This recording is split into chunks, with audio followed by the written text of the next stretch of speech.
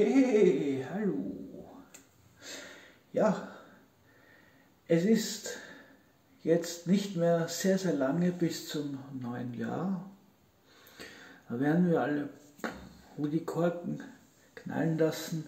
Aber derzeit hat uns die Regierung ja so schäbig wie die sind, uns untersagt, Silvester zu feiern unter dem Motto, erwische die mit Böller, kriegst du Straf. Man sieht schon, die Menschen lassen sich von der Regierung erniedrigen und erpressen. Wenigstens lasse ich mich von so einer Regierung nicht unterkriegen. Ja,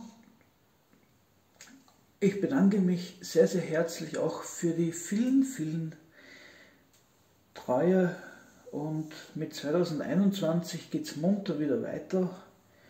Davor kommen ja noch zwei Videos von mir und dann ab 2021 wird es ein Jahr geben, wo es viel zu kritisieren gibt.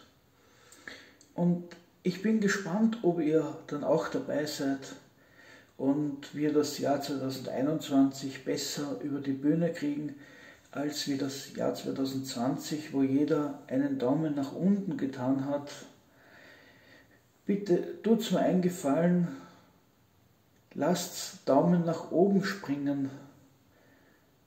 Nach unten finde ich es ein bisschen doof. Aber ja, euch noch gesegnete Tage.